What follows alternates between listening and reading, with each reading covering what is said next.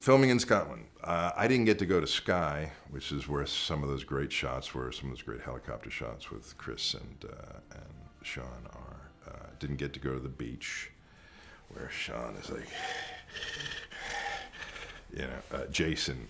I, saw Jason recently, Sean's son, and he, he tells his story that uh, after that scene on the beach where where Sean is describing the quickening and he goes running along the beach and everything. He gets a call from uh, Jason gets a call from Sean. Jason, I think, was shooting like Robin Hood or something like that. Great guy, Jason. And he uh, he says, "Yeah, my dad called me and he said I'm getting too old for this." he says, "I just spent the day running full speed along the beach."